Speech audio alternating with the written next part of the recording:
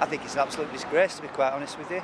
You know, I think you know when we were in lockdown people were having to sacrifice things, including the families, seeing the families and friends and doing as they were told to, you know, save lives, protect the NHS.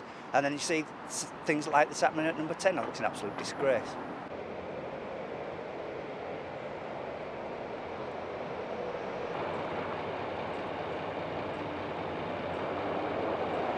Think, to be honest, the general public have grown quite tired of, of the the revelations and the stories that have, have, come out. There's obviously a lot of anger, I suppose, from people who've been directly impacted by the pandemic and who, have lost loved ones, which you, you, you can understand. But um, look, I think these things have, gone on that long now that you know I'd say a lot of the, the, public have just kind of lost interest in, in the stories and maybe politics in general, given the, the sleaze that's gone on.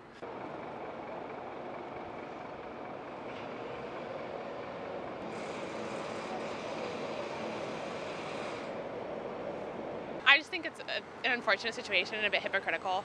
Um, you know, the country was in lockdown and we all were following the different rules, and so it's unfortunate that the government has um, kind of found a way to break the rules in, in a way that they seem is appropriate. Um, so yeah, it's, it's I'd say hypocritical is kind of the word that comes to mind.